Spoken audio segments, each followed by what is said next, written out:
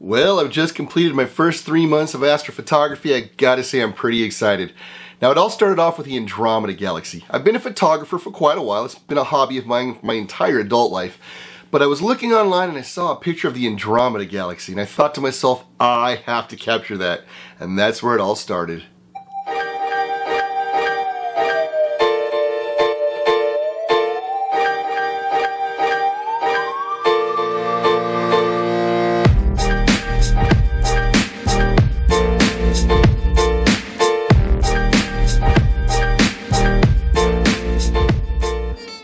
I saw that first picture of the Andromeda Galaxy, I decided I really had to get a photograph of that, but I didn't have any gear for it.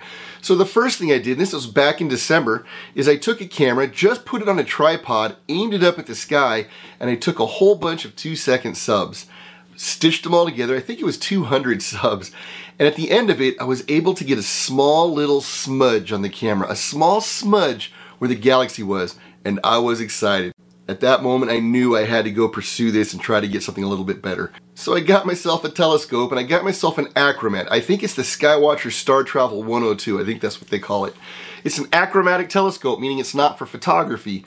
I just wanted to see space at that point, and being here in the middle of the pandemic, it was really hard to find telescopes. So when I found a pretty cheap telescope that I could get delivered, I went for it. And that changed everything. Once I was able to see things closer up in more detail, I was determined to get some better photographs. My second purchase then was a Skywatcher EQM35 equatorial mount. This now enabled me to track the sky. I was able to follow the sky and the target that I was shooting to get longer exposures. So I put my camera on top of that mount and I aimed up at the Andromeda Galaxy and I got a pretty good photograph. But I realized I wanted more. So my next purchase was a Skywatcher Evo Star 72 ED. Now that's an apochromatic telescope and that really enabled me to start taking the photographs I wanted to take. Now here is the Andromeda Galaxy that I was able to capture with that telescope. This is my very first deep sky object and I was quite proud of it.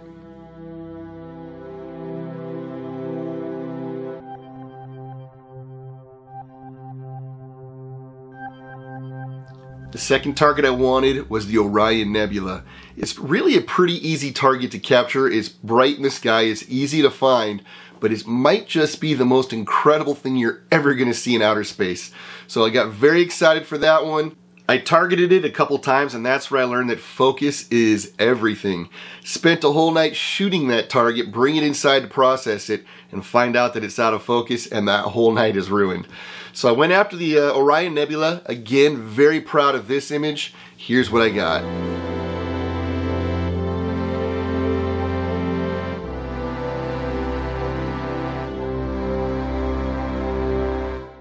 Before I go to the next target, I've got to say that I have a pretty big advantage because I've been working with photography for most of my adult life. In fact, Photoshop and Lightroom are programs that I've used for as long as I can remember. Now with astrophotography, the processing is half the battle. Half the battle is trying to capture the target, but then you've got another 50% of the work left as you go into process it. So having a strong background in Photoshop and in Lightroom, that really, really helped me out. The other thing that I did was that I watched countless videos on YouTube.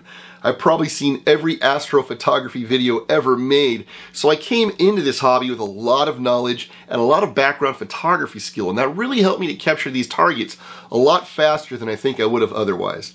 Alright, my next target was the Rosette Nebula. The Rosette Nebula was the first target I had to use my go-to mount to find.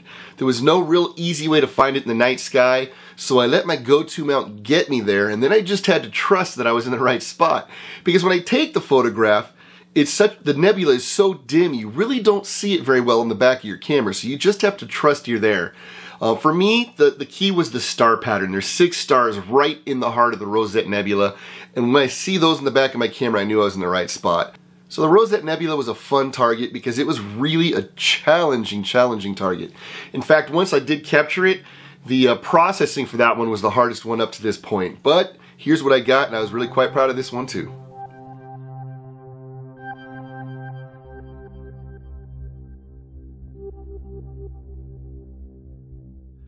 After the Rosette Nebula, I had to go for the Horsehead. The Horsehead Nebula is an incredible looking nebula, but this one I learned you just need a lot of acquisition time. So I think it took three or four days actually getting the data for this target. And when I started to process it, it really wasn't coming out very well. So I was getting frustrated. But with enough nights of getting the data from the outside, I was able to come up with something pretty good. Here is my Horsehead Nebula.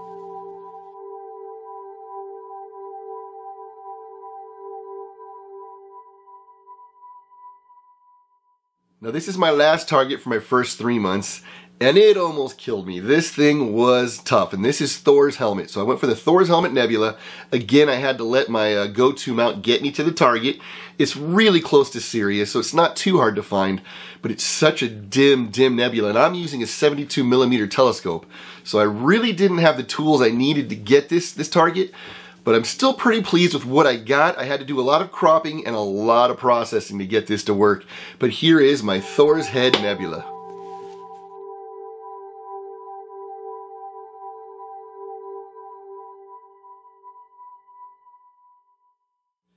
Now my last target is the moon. Everyone has to shoot the moon at some point. I probably shot the moon a hundred times in my first three months because it's such an easy target. It's easy to focus on. Really, it's a good way to practice astrophotography because it's such an easy target. It's up in the sky at least half of the month. But here's the moon, and I took this shot actually through my Achromat. That first telescope that I bought, I took the moon. Now, it did have some color fringing, but nothing that you can't fix with post-processing in Photoshop and Adobe Lightroom.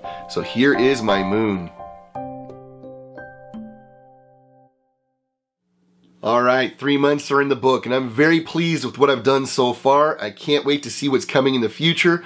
Unfortunately, I know that a lot of money is going to get spent in the future because you get to a point when you realize you need to upgrade some of your gear. For example, I have a 72 millimeter telescope, which is great for what I've done so far, but now we've got the galaxy season coming up and it's just not enough reach to get what I need.